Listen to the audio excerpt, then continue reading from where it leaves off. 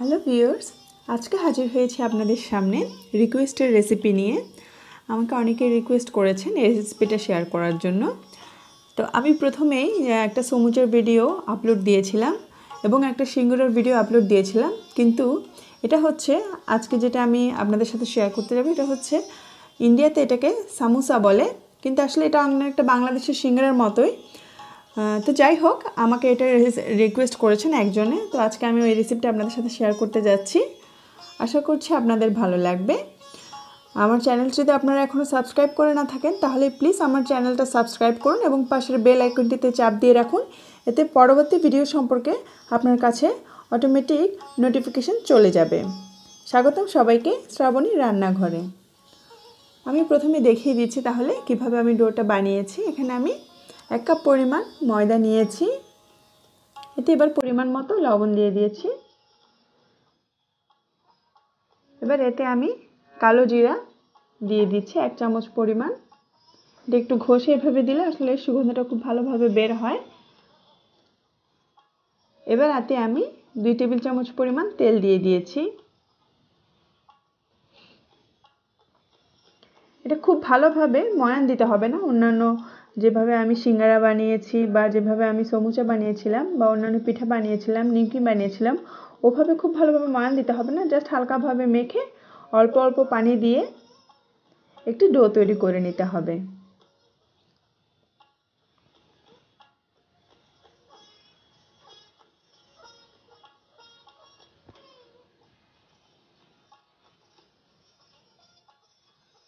দেখুন, আমি ডোটি তৈরি করে নিয়েছি। এবার এটাকে আমি আধা ঘণ্টার জন্য ঢেকে রাখব।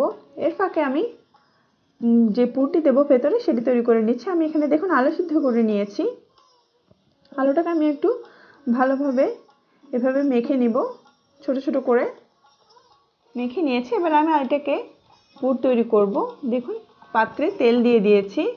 এতে আমি প্রথমে আদা রসুন কুচি দিয়ে দিয়েছি।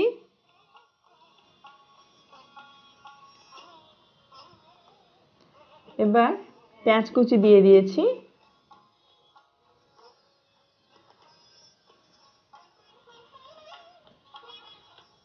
এবার একটু বাদামি করে ভেজে নেব। দেখুন, এতে আমি কাঁচামরিচ কুচি দিয়ে দিয়েছি। আপনারা চাইলে শুকনো মরিচ ইউজ করতে পারেন বা লাল মরিচের গুঁড়ো ইউজ করতে পারেন, আপনার যেরকম পছন্দ। এতে এবার আমি গাজর খুব ছোটো ছোটো করে কাটা দিয়ে দিয়েছি। আপনারা আপনাদের পছন্দ মতো সবজি ইউজ করতে পারেন, বাসায় যা থাকে তাই দিতে পারেন। এতে আমি হালকা একটু জিরে দিয়ে দিচ্ছি। আমার জিরাটা আসলে অনেক ভালো লাগে খেতে। এবার এটা আমি ভালোভাবে ভেজে ফেলব। পরিমাণ মতো লবণও দিয়ে দিয়েছি।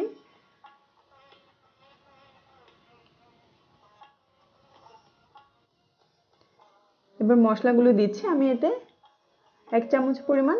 জিরার পাউডার দিয়েছি, জিরা গুঁড়ো এবং হাফ টেবিল চামচ পরিমাণ আপনার হলুদ দিয়েছি। এবার আলুগুলো, যে আলুগুলো আমি ম্যাশ করে রেখেছি, সেগুলো দিয়ে দিচ্ছি। এগুলো দেওয়ার পর আমি হালকা একটু ভেজে নেব সবগুলো একসাথে মিশিয়ে খুব ভালোভাবে। চার থেকে পাঁচ মিনিটের জন্য এগুলো আমি ভেজে নেব। দেখুন, হয়ে গিয়েছে, আমার পুরো রেডি হয়ে গেছে। এবার আমি সামোসাটা বানাবো। দেখুন আমার ডোটি রেস্ট হয়ে গিয়েছে। এখন এটার থেকে আমি কেটে কেটে বল করে নিব।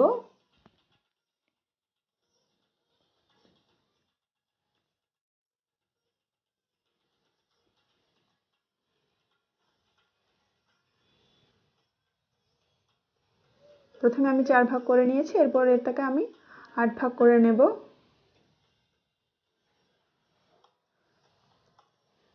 একটি বল নিয়ে বাকিগুলো আবার আমি ঢেকে রাখব, যাতে এগুলো ড্রাই হয়ে না যায়।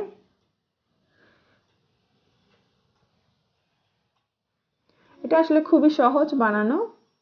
আমাদের সিঙ্গারাটা, বাংলাদেশে যে সিঙ্গারাটা বানানো হয়, এটা অনেকে বলে থাকেন, সিঙ্গারার প্যাঁচটা একটু কঠিন লাগে, অনেকে দিতে পারেন না। কিন্তু এই ইন্ডিয়ান সমুচার প্যাঁচটা আসলে অনেক সহজ।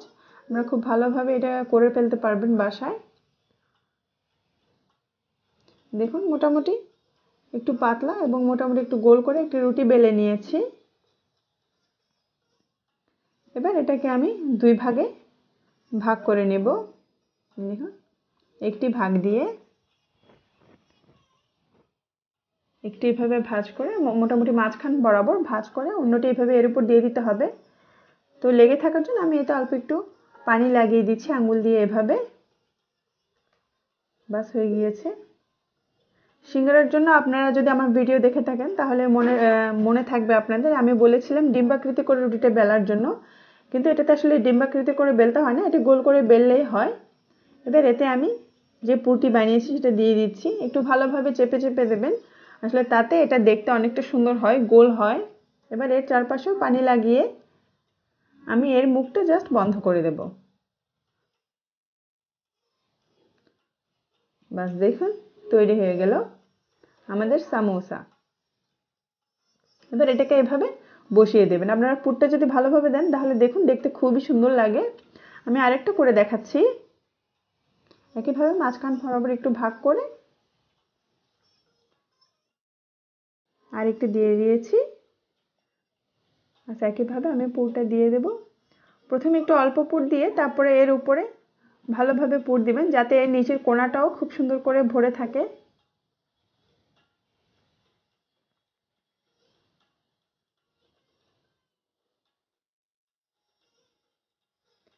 এটাকে আপনারা এভাবে বানিয়ে অনেকদিন সংরক্ষণ করে রাখতে পারবেন ফ্রিজে ফ্রোজেন করে রাখতে পারবেন। এর পদ্ধতিটাও আমি আপনাদেরকে দেখিয়ে দেব।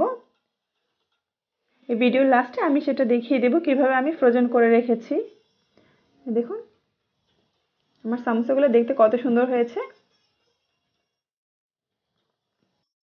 এবার এগুলোকে আমি ভেজে ফেলব। এগুলোকে আসলে ডুবো তেলে ভাজলে খুব ভালো হয়, কারণ অল্প তেলে ভাজলে আপনার বারবার উল্টে পাল্টে দিতে হয়, তাহলে একটু ঝামেলাই হয়। ডুবো তেলে ভাজলে এর ভাজাটা আসলে খুব মজা হয়। দেখুন, আমি তেলটা মিডিয়াম হাইটে রেখে গরম করে সমোসাগুলো দিয়ে দিয়েছি। তো চার থেকে পাঁচ মিনিট ভাজি করলে হয়ে যাবে, কারণ ভেতরের পুরটি অলরেডি ভাজি করা, এটা রান্না করা সো আপনার বেশিক্ষণ ধরে এটাকে রান্না করতে হবে না, ভাজি করতে হবে না। দেখুন, আমার সমোসাগুলো রেডি হয়ে গিয়েছে।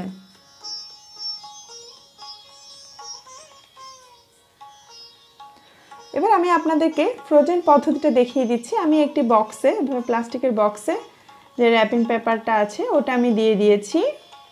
এর উপরে আমি বানানো এক্সট্রা সামোসাগুলো এভাবে দিয়ে দিচ্ছি। চেষ্টা করবেন যাতে একটির সাথে একটি লেগে না যায় এভাবে। আড়াআড়ি করে কোনে কোনে করে একটির সাথে একটি এভাবে দিয়ে, বাড়তি প্লাস্টিকটা এভাবে দিয়ে, এর উপরে আবার আমি এভাবে রাখতে পারব। দেখুন, এতে একটির সাথে একটি লেগেও যাবে না এবং খুব ভালোভাবে এর যেটা সাইজটা আছে সেটাও নষ্ট হয়ে যাবে না। ডিজাইনটাও নষ্ট হয়ে যাবে না। এভাবে আপনারা ফ্রিজে রেখে অনেকদিন খেতে পারবেন। সো আশা করি আমার ভিডিওটি আপনাদের ভালো লেগেছে। যদি ভালো লাগে, তাহলে প্লিজ লাইক বাটনে চাপ দিয়ে একটি লাইক দিতে ভুলবেন না। সবাই ভালো থাকবেন, সুস্থ থাকবেন। ধন্যবাদ।